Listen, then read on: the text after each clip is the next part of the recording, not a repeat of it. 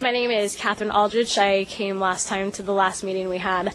I read over the proposed draft that Mr. Shannon had proposed that we adopt for our city policy.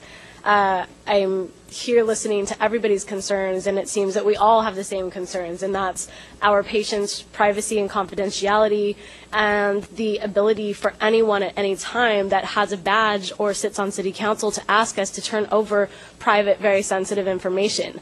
You know, I had made the comment last time, I doubt that any of you would walk into Rite Aid and ask the pharmacist of the same nature, and I don't understand why this this industry is going to be so scrutinized.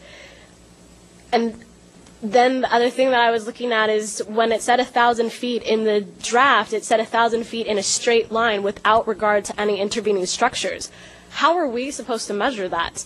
I, I and then the mixed use. I've lived in Long Beach my entire life. There is nowhere that I could think of that is solely commercial, except for where the last gentleman said. And accessibility to patients with disabilities, I don't know that there's very many options for them to be able to get there. I agree that this is a start. It's a step in the right direction, but I feel that the draft has many, many flaws.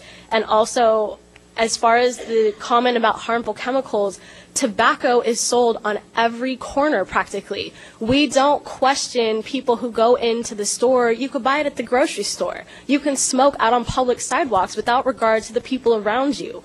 So if we want to bring up harmful chemicals, there's a whole lot of other things that we should be looking at, such as alcohol, tobacco, McDonald's, you know, and then how many of us have been prescribed Vicodin for pain? That's an opiate derivative, and no one ever questions that. But everyone wants to sit here and scrutinize medicinal marijuana and the people who opt for that as a remedy there is a large fiscal impact in implementing all of these rules and regulations, and we're going to lose a very potential tax revenue for the city.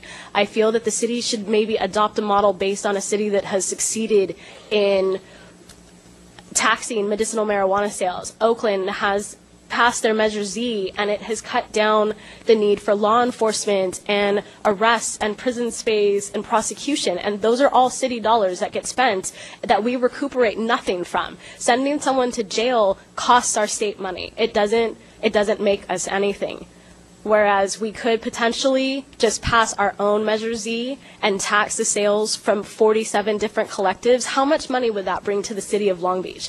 A city who's going to have to lay off 900 more teachers by March 15th because the voters did not pass Measure T.